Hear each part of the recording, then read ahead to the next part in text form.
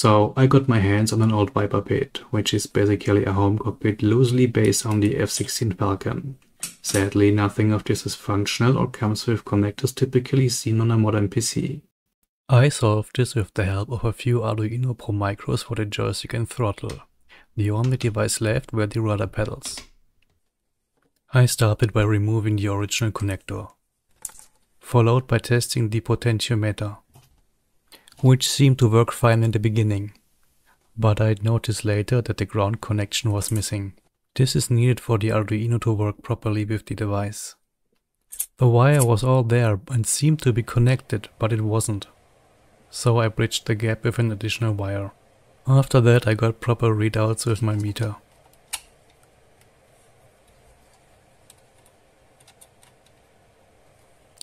After assembling everything back together, it was time to work with the Arduino itself.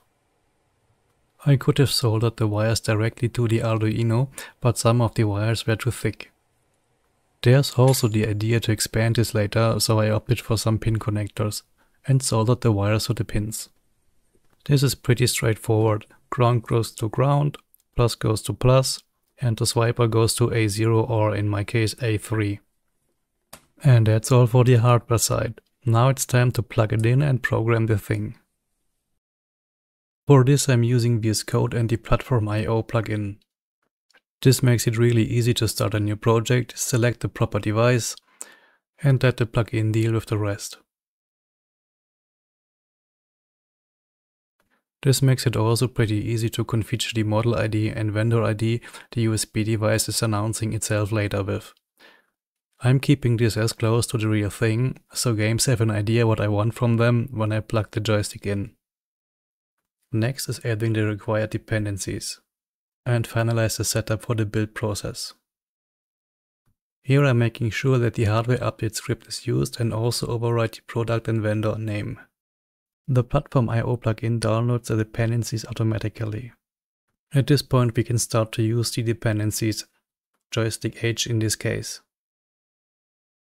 followed by cleaning up the default project and, for best practices, introduce our main H, even if we don't use it in this case.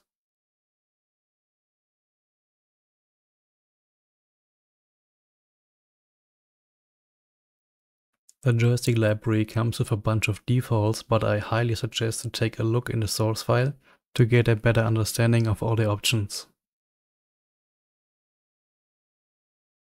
So in this case, the only option I'm using is the rudder axis and later also at least one button because without at least the Linux kernel doesn't make it available as a joystick.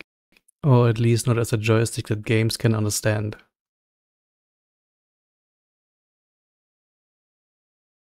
The joystick is always initialized in the setup function. This is done by calling the begin function on our joystick object. Everything else will happen in the loop function, which won't be much for such a simple device. But first it's time to check our readings and if we get any good readings at all. We'll also need this to define the upper and lower range of our axis later. To do so, we'll just write out our analog read, compile and flash the program to the Arduino, and check the lowest and highest values. With this knowledge we can set the range of the axis later. Now it's time to set the proper joystick axis by calling the setRudder function and just pass through our analog read of A3. This is also a good time to set the rudder range. We could do this in each loop based on our readings, but in this case I'm pretty sure I won't go over the top. The rudder is pretty limited after all.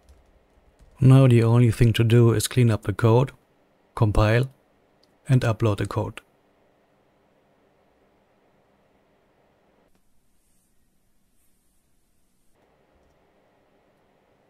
Finally, it's time to test the pedal. For this I'm using the event test system of my system. Here I can check the raw values reported by the device. And this looks about perfect. It clearly reports a rudder axis. The reported values look legit too. We can also visualize this of course. Looks good to me. Notice that this shows at least one button, This works around the problem I talked about before. It doesn't do anything, but it has to be there.